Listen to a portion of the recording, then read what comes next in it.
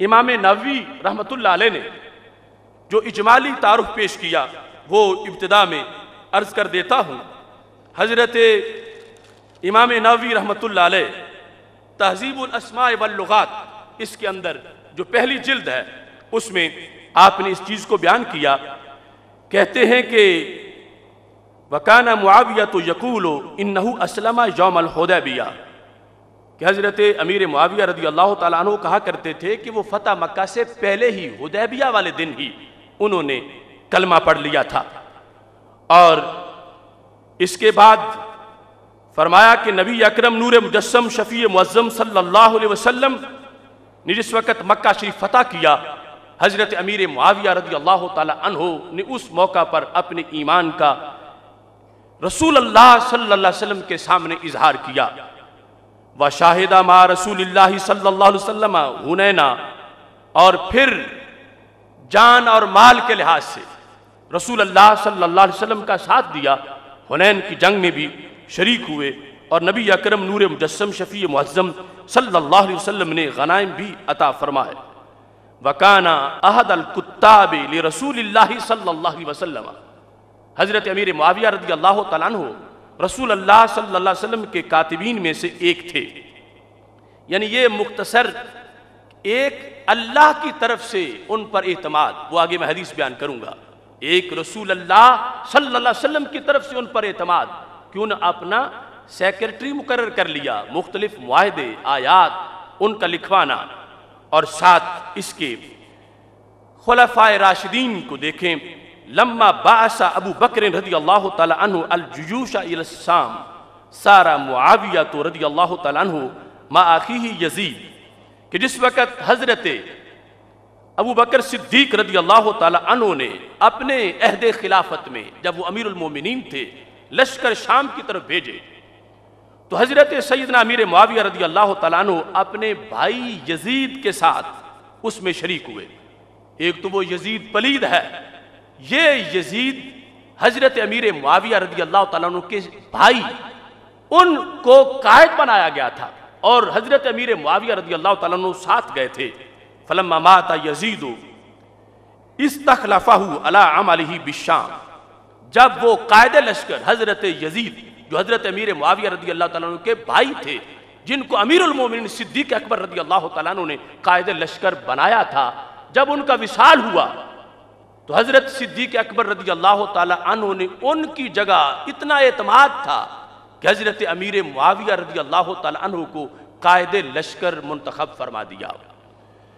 और इसके बाद फ़ाकर्रहू उमर रदी अल्लाह तु मकाना। फिर हज़रत उमर रदी अल्लाह तु ने इनको दिमश्क में उसी तसलसल में बहसीत अमीर मुकर रखा और बरकरार रखा। और उसके बाद हज़रत उस्मान गनी रदी अल्लाह तु ने भी उसी तसलसल को आगे पेश किया। वरोवी लहू अर रसूल सल्लल्लाहु वसल्लम मिया तो हदीस कि ये हज़रत अमीर मुआविया रदी अल्लाह तु हदीस के बहुत बड़े रावी हैं, यानी सहाबा में एक हदीस भी जो आगे उम्मत तक पहुँचाए, उसका बड़ा मकाम है। और हज़रत अमीर मुआविया रदी अल्लाह तु ने एक सौ तिरसठ हदीसें उम्मत तक पहुंचाई। मेरा तो हदीस व सलासा व सित्तू न हदीसा। एक सौ तिरसठ हदीसें हज़रत अमीर मुआविया रदी अल्लाह तु ने आगे पहुंचाई हैं। आज इमाम बुखारी जिसकी हदीस लिख लें, उम्मत कहती है, वो बंदा बिल्कुल अथेंटिक है। जिससे बुखारी ने हदीस ली तो जिससे उसका कितना ऊँचा मकाम होगा? तो हज़रत सैदना अमीर माविया रदी अल्लाह तहो के शागिर्दों में हज़रत अब्दुल्ला बिन अब्बास रज़ी अल्लाह तला सिहाबा में से हज़रत अब्दुल्ला बिन अब्बास रदी अल्लाह तु ने हज़रत अमीर मुआविया रदी अल्लाह तु से हदीस रिवायत की। ये इमाम नबी, ये तहजीबुलस्मा वल्लुगात के अंदर लिख रहे हैं और फरमा ऐसे ही हज़रत जरीर बिन अब्दुल्ला, हज़रत नोमान बिन बशीर, हज़रत अब्दुल्ला बिन उमर, हज़रत अब्दुल्ला बिन ज़ुबैर, हज़रत अबू सईद खुदरी, हज़रत साहिब बिन यजीद, हज़रत अबू उमामा बिन सहल रदी अल्लाह तुम ये सारे सिहाबा हैं कि जिन्होंने हज़रत अमीर मुआविया रदी अल्लाह तु का ईमान भी माना, इनकी सिकाहत भी मानी, इनकी पुख्तगी भी मानी, दयानत भी मानी, अमानत भी मानी, शान भी मानी, जो बंदा थोड़ा सा भी जिसके अंदर खराबी आ जाए, बुखारी जैसा बंदा हदीस कबूल नहीं करता, सिहाबी हदीस कैसे कबूल कर जाएगा? तो इतने कसीर सिहाबा जिन्होंने शागिर्दी इख्तियार की, हज़रत अमीर माविया रदी अल्लाह तु की, उनसे पढ़ा और फिर ताबीन में हज़रत सईद बिन मुसैब रदी अल्लाह तु और दीगर एक जमात है ताबीन की, जिन्होंने हज़रत अमीर माविया रदी अल्लाह तु से हदीस को रिवायत किया है। और बुखारी मुस्लिम के लिहाज से भी कि इमाम बुखारी ने जो हदीसें ज़िक्र की हैं यानी लाखों हदीसों में जो इंतखब किया, उनमें भी हज़रत अमीर माविया रदी अल्लाह तु की हदीसें मौजूद हैं। यहाँ तक कि इन्होंने कहा कि बुखारी मुस्लिम दोनों ने इतफाक किया जिन अहादीस पर, उनमें से चार हदीसें हज़रत अमीर मुआविया रदी अल्लाह तु की सनद से सरकार तक पहुँचती हैं, जो दोनों में मौजूद हैं। और ऐसे ही सिर्फ़ बुखारी में है, मुस्लिम में नहीं, वो भी चार हैं। और सिर्फ़ मुस्लिम में हो, बुखारी में ना हो, वो पाँच हैं। इस तरह इन किताबों के अंदर भी ये हदीसें इस तरह रिवायत की गई।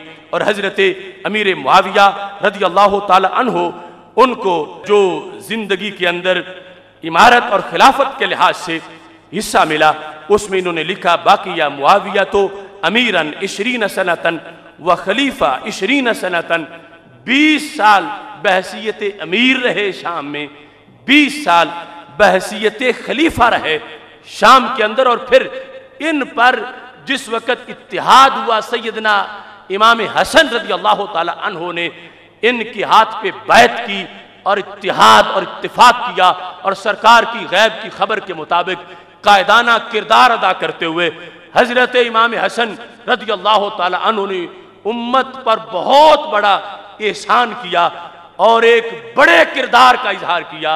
उस वक़्त 20 साल तक बिला शिरकत गैर अमीरमिन तमाम आलम इस्लाम के अमीरमिन बीस साल तक हज़रत अमीर मुआविया रदी अल्लाह तु करार पाए थे। दुनिया में निकले